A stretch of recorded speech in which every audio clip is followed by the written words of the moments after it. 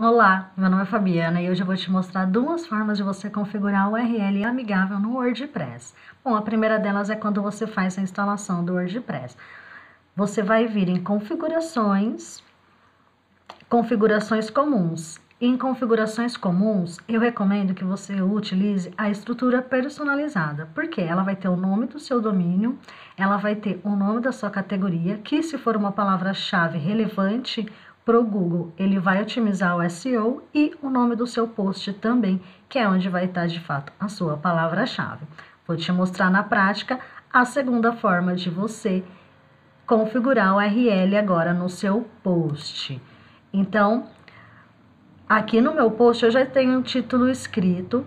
Aqui, como você pode perceber, eu já selecionei a minha categoria e aqui no slug eu coloco o nome do meu título. Aí você pode ver como fica, como eu te falei. Bom, espero que você tenha gostado. Obrigada!